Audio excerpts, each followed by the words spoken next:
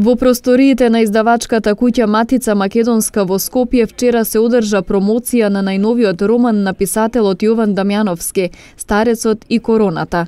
Ова книжевно дело е 18-ти роман на нашиот сограѓанин, истакнатиот македонски писател Јован Дамјановски.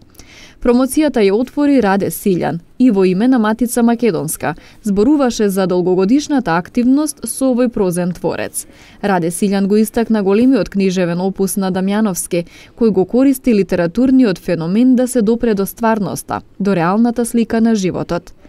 Промотор на романот Старецот и короната беше магистер Дарјан Сотировски, кој со аналитички приод се осврна на овој роман за времето на овие трагични две мачни години кога човековиот род во целиот свет се мачеше во борбата со коронавирусот и го загрозуваше животот на луѓето од целиот свет. Сотировски романот го представи како една сонувалка на болните кои имаат среќа да се излечат од болеста, но со сите стравови и за последиците.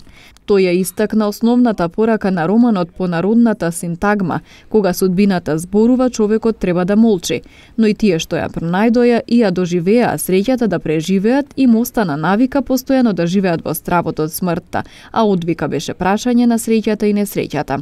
Тој го препорача романот Старецот и короната како исклучително четиво за љубителите на книжевната уметност. Се зборува за, за начинот на, на човекот да, да се избори за формула за преживување. И во овој роман се обидувам храбро да, да покажам дека во човечкиот живот треба да, да се научи човекот да верува во надежта и кога нема надеж.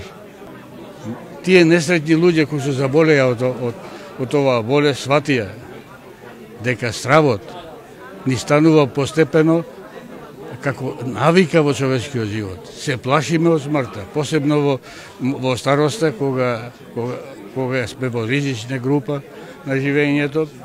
Авторот пак Јован Дамјановски се заблагодари на издавачот на романот Матица Македонска, на авторот на поговорот Раде Силјан, на познатиот академски сликар Павле Кузмановски, кој го направи цртежот за корицата, на промотивниот говор на Дарјан Сотировски и на бројните присутни кои присуствуваа на овој книжевен настан во Скопје.